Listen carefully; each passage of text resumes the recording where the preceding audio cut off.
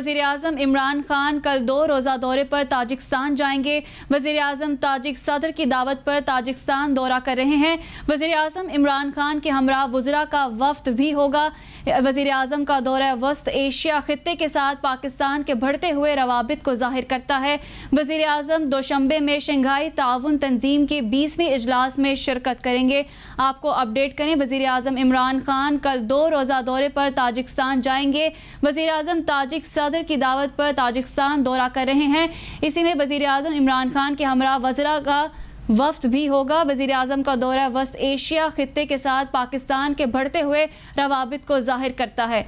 इसी हवाले से मजीद जान लेते हैं। नुमाइंदा Capital T V Shakir Abbasi से, जी शाकिर अब्बासी इस दौरे के हवाले से क्या अपडेट्स हैं?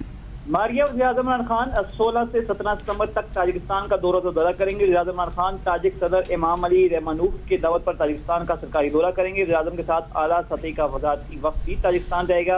वजी इमरान खान का तीसरा दौरा वक्त एशिया के खत्े के साथ पाकिस्तान के बढ़ते हुए रवाबत को ज़ाहिर करता है। वजी इमरान खान दो शबे में शंघाई ताउन तंजीब के सरबराही सरबराही इजलास में शिरकत भी करेंगे।